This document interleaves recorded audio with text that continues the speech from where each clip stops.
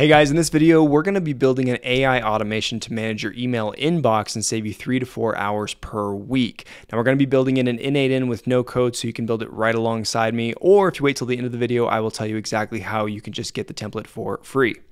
Now, for those of you that don't know me, my name is Nolan, and after building my marketing agency up to six figures per month and experiencing just how painful building that business could be, I started creating AI automations for myself and quickly realized just how impactful they could be. So, after experiencing the benefits firsthand, I've gone all in building AI agents and automations for agencies and service providers. Here's a quick demo. I've just received a new email and the workflow kicks off. First, the text classifier decides which path to push it down. Then we add a label for which type of email this is. Then our AI reads it, analyzes it, and crafts a subject and message to respond to the email. Then a draft is created and we're notified via Slack. Here's another where we got a promotional email from another company. The classifier labeled it as promotions. The AI decided whether or not it was worth pursuing. And when it decided it wasn't worth pursuing, it marked it as read so it would declutter our inbox. All right, let's go ahead and dive on into this build. So to start, of course, we're gonna need a trigger. We're gonna start with a Gmail trigger because that is the uh, inbox that I use.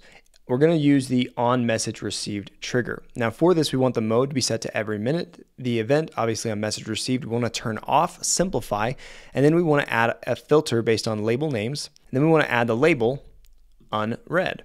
And we're gonna go ahead and fetch a test event so that we can use it throughout the rest of this and we've got our email. So it looks like it just pulled an email that just came through. That's great. And what I'm going to do next is I'm going to create a text classifier node. What this is going to do is it's basically going to select which path it wants the email to go down. And so for this, we're going to search text classifier. There we go. And what we're looking for to drop into the text to classify is going to be this JSON right here. And because this is a text classifier node, we actually have to create the categories for it to decide which path to push it down. So I've already created my categories. It's going to be internal customer support, promotions, admins, and uh, sales. So what I'm going to do is I'm going to go ahead and manually add all of those right now. Internal, I've got customer support, promotions, and admin finance, and then we're going to have a sales opportunity. There we go. And now I'm just going to add in a description to all these categories so that it has context on what each category is supposed to be. So I've actually already got the descriptions laid out because I planned this ahead of time for the video. So these are the descriptions for the categories that I have. You can either pause this and screenshot or you can just wait until the end and you'll get them. So what I'm going to do is I'm now just going to add these to all of my categories. We've got internal,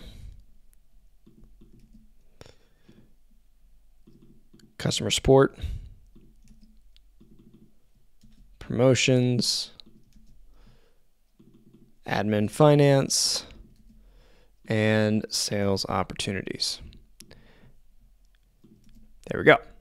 And before we test that step, we need to make sure that we add a model. So we're just going to go in and add OpenAI. And for this, I'm just going to use 4o mini. That should do totally fine. I'm going to go back into my node and I'm going to go ahead and test the step. And what we should get is all of the branches, but with only one of them with an item in it. So you can see internal has nothing, customer has nothing, admin has nothing, sales has nothing, but promotions has the email. Well, that means that the text classifier successfully routed the email uh, the right way. So since it's gone down the promotions tab, we're going to continue our build down this tab. Next up, what we're going to want is going to be an add label function within a Gmail node. So we're going to search Gmail again, and we're just going to look for add a label to message. And right here, we're going to drag in the ID and we're going to find the label uh, that we want to use. Now for this one, it's going to be promotions. I had to rename that so it's cold outreach, but these are going to be labels I've manually created inside of my inbox. So right here on the left-hand side under labels, the plus button, you can create a label um, for anything that you want. Now promotions is actually protected because Gmail has its own promotions tab. So I just renamed it to cold email for this uh, example. And next up, I'm going to go ahead and test this step and that worked. So we're going to go ahead and continue on. Now from here, what I'm going to do is I'm actually going to go ahead and copy and paste this node. There we go. And I'm just going to do it for all of these. There we go. And I'm just going to name them um, based on the path that they are in. Keep everything neat and organized.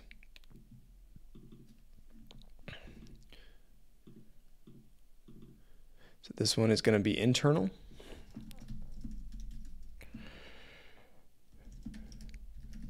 And I'm actually just going to copy this. We're going to rename it, and I'm going to change the um, the label to internal. There we go. And now that we're at this step, we get to choose how we want to proceed. Now, now for each of these categories, you may want something different to happen. For example, internal, you might want to be notified via Slack. Maybe it's a team member that needed to get in touch with you. Uh, for customer support, you may want to route it to somebody in the customer support department, and so on and so forth for the rest of the categories.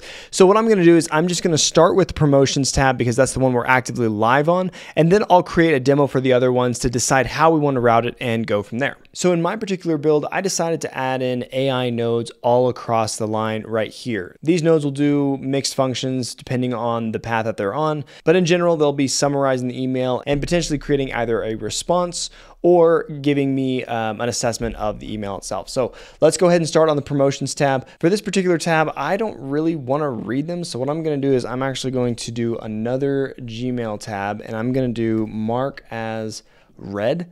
Um, so that's going to mark right there. And we're going to add in the message ID right there. Good to go. Cool. Then I'm going to add in an AI node. And the reason I want to do this is I actually want to summarize these promotional labels. And so I'm actually going to have um, my AI assistant determine if the email is worth following up on or not. Now, remember, this particular path is a bunch of cold email, it's spam, it's sales.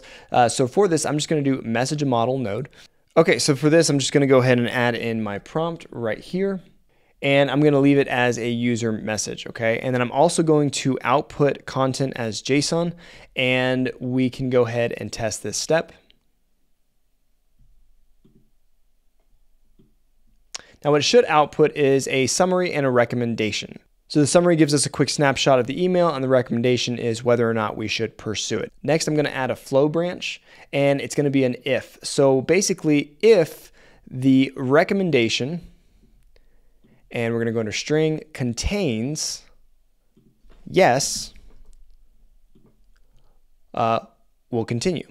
Okay, so now that we're at this step, we are trying to decide how we want to proceed. Do we want to receive a Slack notification for this? I probably wouldn't. I get a lot of spam every single day, and if it, you know, wants to pursue, you know, half of them, then that's probably not going to be good for my workday getting a lot of those messages in Slack. So I don't think I'm going to do any Slack notifications for this path, but what I might do is actually change this mark as read node and move it over um, to um, are false.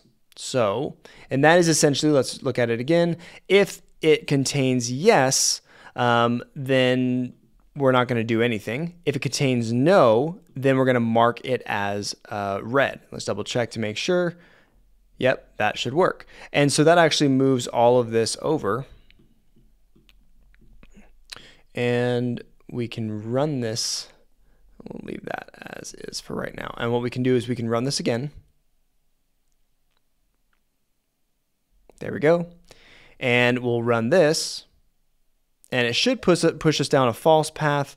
And with that, we will be marking the message as read. And so what it'll do is it'll actually clear all the unreads um, out of your inbox um, and it'll leave the ones that it thinks it's worth pursuing as true. So now that we have this, what we essentially want to do is start creating variations of this for every single path.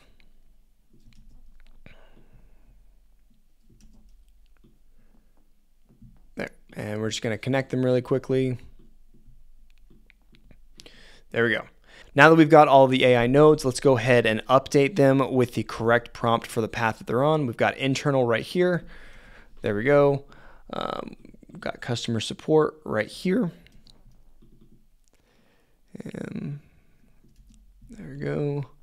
Now, you may want something completely different, but for my inbox, I want to go ahead and have my AI draft up a response. I don't want it to send any of them. So I'm actually going to do a create a draft node. And for this, we're just going to do another Gmail node. And we're going to look for draft. We're going to get create a draft. Now, from this, we're going to be pulling the uh, subject and the message directly from uh, the previous node as the output is set for subject and message. Um, and then we'll notify uh, in Slack. So I'll go ahead and set the Slack node right now. and I'm going to send a message. Now, within your draft node, you're going to notice you have the subject and message uh, lines that are empty. I actually already know what these are. Um, but we'll run one later and verify that this actually works um, because it's going to come from a previous node. So it's going to be json.message.content uh, and then dot subject or dot message right there. All right, so inside of our Slack node, we're going to just select a channel. We're looking for, in my case, playground and the uh, message itself is new draft created. You could do some notification that's generated by the AI. That's totally fine. In this case, I didn't with the prompt. So instead, what I'm going to do is I'm going to give it uh, label internal new draft created. Now, if you wanted to add a summary, uh, you could absolutely do that as well. I just didn't on this one. So I've got my label is assigned. I've got my AI analyzing it, generating a subject and a message, outputting that to a draft, and then notifying myself via Slack. So I'm going to copy and paste this and do the exact same thing I did before, which is just add it to each of my paths. In many cases, it's probably totally fine to have it draft a complete email and send it. Uh, in my case, I haven't trained these up. You would probably have to add in a database, uh, given you know company information if you're doing customer support or anything like that um, to know how you would handle that. So for right now, what I'm going to do is I'm just going to leave these as created drafts so that I don't have to create that draft later. I can simply review it and either send it or discard it or change it. So all of these have been created and added. I've now got the draft on all of these. Let's double check to make sure because of where I'm pulling the subject and message from, it should be the same for all of these. The final step for the sales path is just gonna be to add a Slack notification. So I'm gonna look up Slack and then send a message. I'm going to select my channel.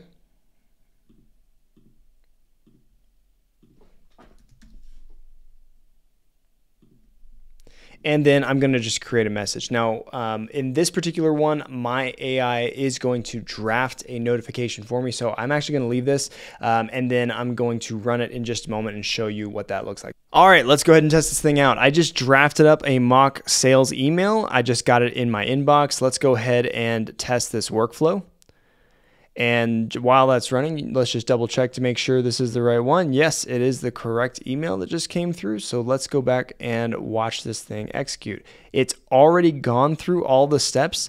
And as you can see, it's already added the label sales opportunities, now let's go ahead into the draft. Hey, thank you for reaching out and for the kind words from James Mitchell. I'm delighted to hear about your consulting work with fitness studio owners and appreciate your interest in improving inbound lead flow and ad strategy. At AgentStack, we specialize in, it basically gives that. Uh, could we set up a time for a call to discuss your needs in more detail and review our pricing options? Let me know what works for you. Uh, looking forward to our conversation. And finally, you can see that it sent over a an opportunity right here. So I'm going to go and check that in my Slack. And here I am in that Slack channel. You can see new sales opportunity from Sarah Carter. Um, and it basically gives her information. Uh, phone was not provided, further details in the inbox. And so, guys, to wrap up, we've created an AI inbox manager that cleans up the clutter and creates and auto drafts responses to emails and routes them appropriately and then notifies you on the back end. Now, there are a hundred other ways to do this build. There are more complex. Um, there are even simpler versions of it. It just depends on what your needs are. Guys, if you found this valuable, go ahead and give me a like and subscribe. And if you want this template along with a lot of others for free, all you have to do is click below, head on over to our Skool community. It's going to be 100% free. We are launching it very, very soon. So go ahead down below, click it, join. Super excited to see you on the inside. If you have any specific use cases or ideas for variations, I would love to hear it in the comments down below. And if you have any requests for any AI agents or automation builds, uh, I would love to see those. Just drop those in the comments down below as well. So with that being said, guys, thank you so much for stopping by and I look forward to seeing you in the next video.